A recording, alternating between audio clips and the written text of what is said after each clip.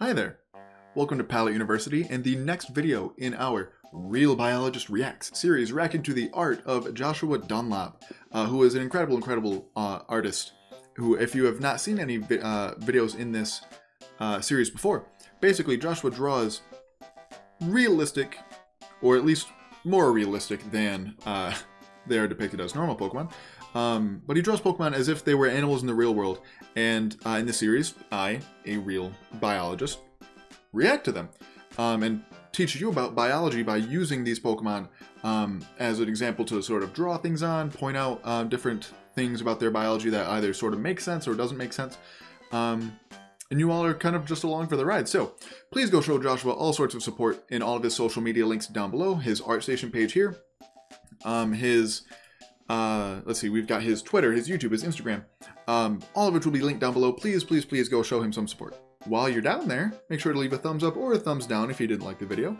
And not that far away from those buttons is the subscribe button, which you should absolutely click as well. So today I'm not talking about like an evolutionary line like I normally do. Instead, I just picked a couple Pokemon that, um, for example, like Chansey. Chansey does have uh, an evolution and a pre-evolution, but the evolution is in Generation 2, and the pre-evolution is in Generation 4, and Joshua Joshua's just nearing the end of Generation 1, so like, it'll probably be a while before he gets to either Happiny or Blissey, so we're going to talk about Chansey in the meantime. Um, and as well as we're going to talk about Ditto, so I figured two pink blobs, sure, they go together, I guess. Um, but anyway, Chansey. So, I wasn't sure what to think of Chansey, so I've always pretty much been um, pretty confident that Chansey and Blissey are mammals. Um, some people have kind of been like, oh, the things on Chansey's head are feathers, and the things around Blissey's like skirt type thing are, are feathers. And I'm like, no? Like, no. Like, they're just some kind of weird head ornamentation.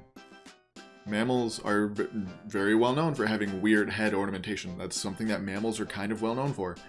Um, so there's just some kind of weird. Like, they could be um, something to similar to like an, an African elephant's ears, where it just sort of waves them. It'll flush them with blood, and then sort of wave them to let off excess heat.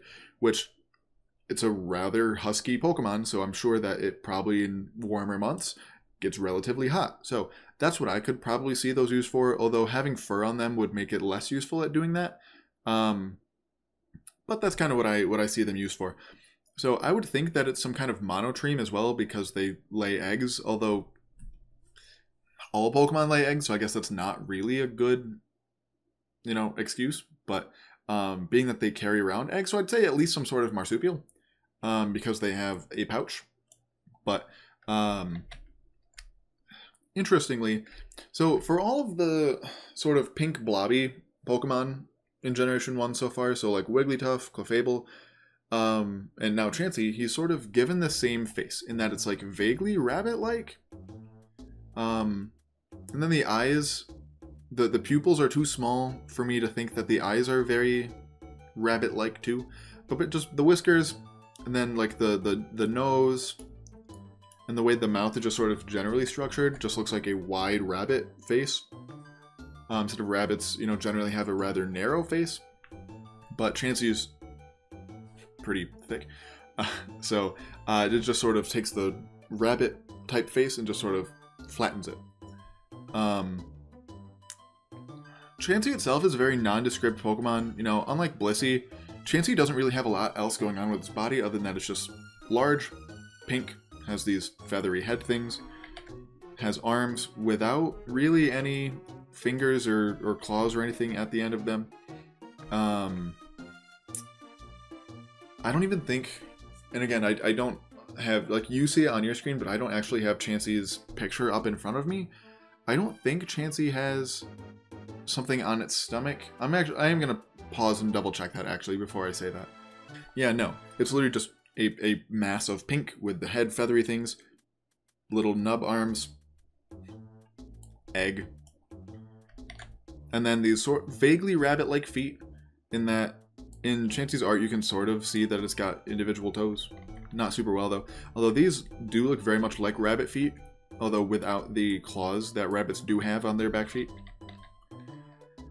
Um, it's a lot fluffier than I kind of envisioned Chansey. I like obviously, I thought that Chansey, as as I mentioned, was some kind of mammal type thing at least. So I figured it would have hair, but it looks way fluffier than I kind of imagined. Um, which I guess makes sense. So I'm curious to see how long the fur is in, in like in Joshua's mind as he's drawing this. So like how big is Chansey's body itself actually? Um, because with how sort of fluffy it looks, it looks like its body is a fair bit smaller than what you actually see on the screen. Um, let's see. So it does look like he shows some of Chansey's like actual skin, not just um, the fur or hair um, around the pouch, which makes sense. Like it probably wouldn't have um, hair inside the pouch. Most marsupials, some do, some don't. Um, like for example, kangaroos sort of do. Um, although kangaroos are very weird for marsupials, so a better analog would be something like an opossum, um, which does have hair in its pouch to, that I'm I, I think anyway. Um, I don't know. I, at least on like the actual like belly side of the pouch, they definitely do. As for the actual like inside of like the actual pouch part, so like if this is my pouch, like the inside part here, I don't know whether that has hair or not, but apparently according to Joshua, it does not. Um, let's see what else. Obviously, Joshua draws it in a hospital type setting. Um, you can see like some sort of patient bed behind Chansey there. Um, looks like an oxygen tank right there. Some medical drawers. This looks very much like my dentist's office, to be honest. Oh no, that's not a bed. That's like a counter. Um, yeah, so he draws it apparently in like a Pokemon Center or some sort of hospital setting, which again makes sense. Um, hmm. Is there anything else I want to talk about with Chansey? Not really. Again, its eyes look creepy. Um, in that he makes the pupils very like human-like, and yet he doesn't ever give Pokemon the sclera or like the white part of your eye. He just doesn't give Pokemon that, which like granted the having such a large sclera is a pretty I don't even think that's like a primate thing. I think that's pretty much just a human thing. So like I get it. Um but having a human like eye without the sclera weirds me out for some reason. Um, yeah, so let's see. I think that's kind of all I have for Chansey, to be honest. Alright, so let's then move on to Ditto, who also freaks me the heck out, but like in a way that like I, I understand. Because like Ditto, so if, if you, that was loud, whoever's doing things outside. Um, if you remember me talking about uh, Omanyte and Omastar several weeks ago at this point, um, I mentioned how there's just not a lot to talk about with them, and I guess similar case with Chansey, because there's just not um, a lot of detail. You know, with Omanyte and Omastar, it's just like a shell, some eyes, and then non-distinct blue tentacles. With Chansey, it's just pink blob, head things, egg. And then with Ditto, it's even less descript in that Ditto's actual art is literally just pink blob with couple arms, dot, dot, smile. That's literally just Ditto.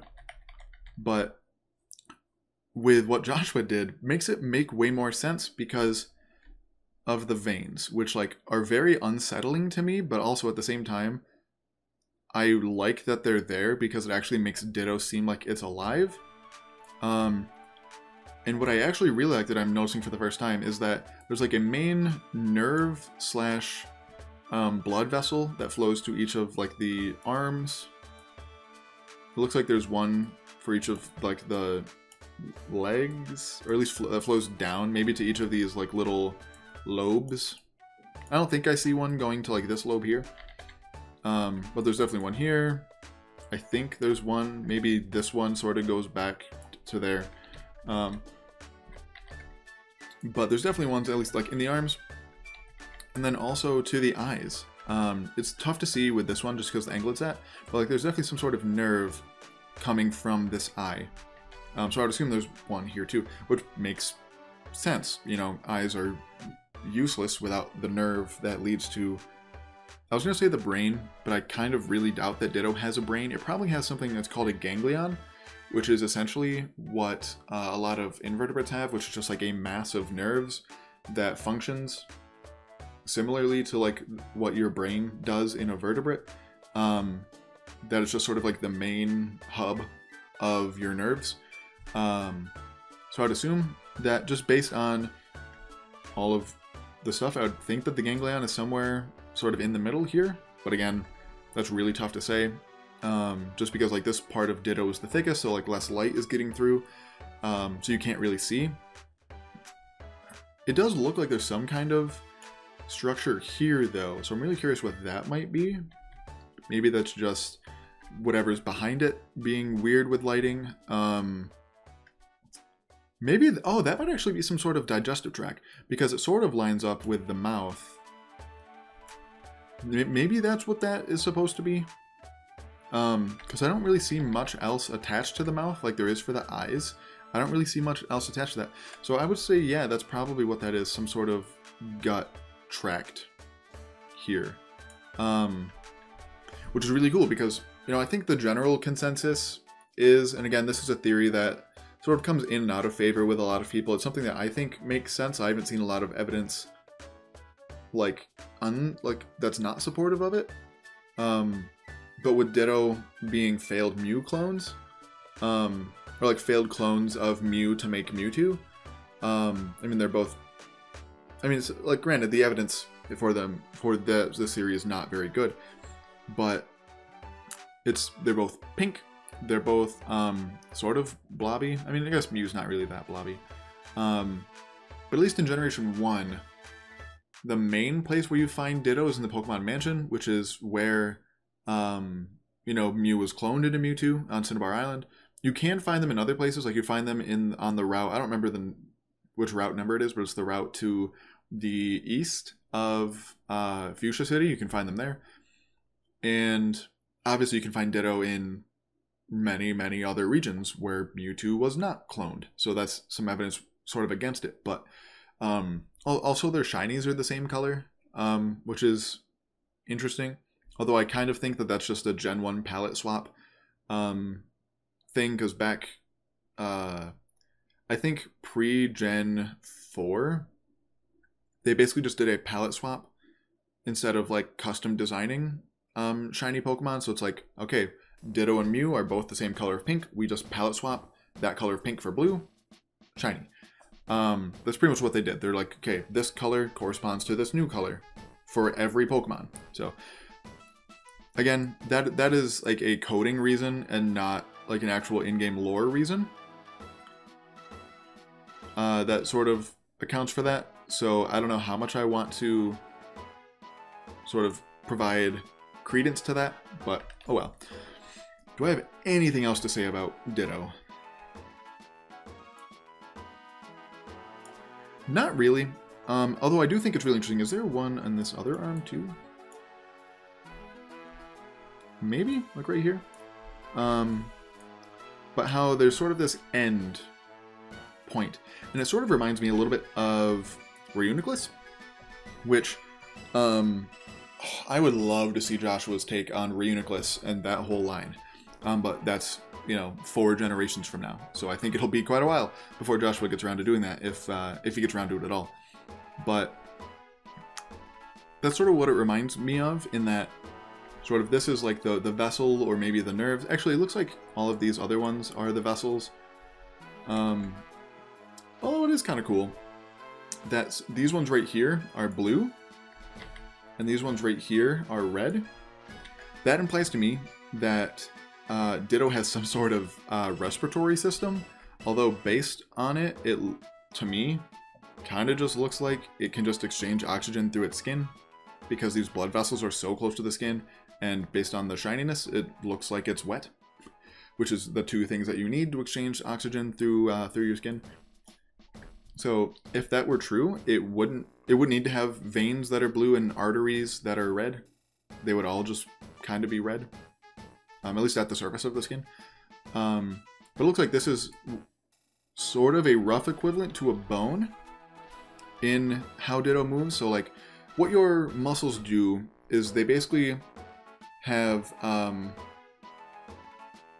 think of it like strings attached to a bone and then to a muscle. So like to move your finger like this, there's think of a string that's tied to the very tip of your finger, and then you sort of uh, pull on it, and because of it's like fixed to the rest of your bones too, instead of just like being pulled, you know, your finger just being pulled straight through itself, it sort of has to curl in and on, on itself um, to relieve some of that tension when you when you pull on it. That's sort of what I think. So in order for muscles to work, it needs to have something to pull on. And that's what I think this thing probably is here. Again, that is pure conjecture. I have no idea. um, we have no idea of anything in that of that's like inside Ditto. So this is just me literally just pure theorying. Um, this, like I said, it might be a nerve, like a cord of nerves. I kind of doubt that it's some kind of blood vessel because we see lots of other ones around it. So that might even just be some kind of weird um, thing of muscle. Um. Yeah, this depiction of Ditto is super weird. Um, I'm more inclined to think that it's some kind of nerve, though, just because muscles don't tend to do that. Um, muscles are very good, with one exception. Your tongues are very weird. The musculature of your tongue is very, very weird, especially in humans. Um, but every other muscle basically only moves one direction and then relaxes in that same direction. So, like your bicep. So, your bicep moves your forearm this way. So, by flexing it, it brings your forelimb toward you. And then by relaxing it, it lets it fall away from you. And then obviously there's another muscle, you know, your um, tricep. Is this your tricep? This one on the bottom here? that is sort of a counter to your muscle. So every muscle also has, um, I shouldn't say every, most muscles. The, the large majority of muscles have, have a like counter muscle. So like while flexing your bicep brings your arm up, flexing your tricep brings it back down, as well as just releasing your bicep. Um, so yeah, just having like a cord of muscle doesn't really work, doesn't really do anything. Um, so I'm more inclined to think that that is some some sort of nerve cord. Um,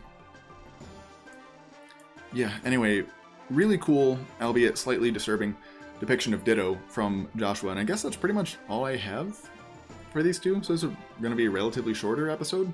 Anyway, once again, thank you to Joshua for even allowing me to make this content based off of your art. You definitely don't have to do that. Um, so big shout out to you. So please, once again, go show Joshua all sorts of support. And speaking of that, you should follow me on Twitter at Pallet underscore you to keep up on all things Pokemon science, as well as if you feel like our content is worthy of supporting financially, we do have a Patreon, the link will be down in the description as well. Also, big, big, big shout out to uh, our supporter over on Patreon, Patty Murphy. Thank you so much. And I just a, a forewarning, um, I'm bulking all of this content, so if you have since um, become a patron and your name is not on the screen, just know that I appreciate you too. But uh, I edited this like at, at the, be- at the beginning of December slash uh, late November. So if you have become a patron since then, just know that I love and appreciate you as well. But your name is not on here. It will be as soon as I get back to making regular content um, back in like the beginning of January. Anywho, lastly, thank you so much for watching, and as always, there's a time and place for everything.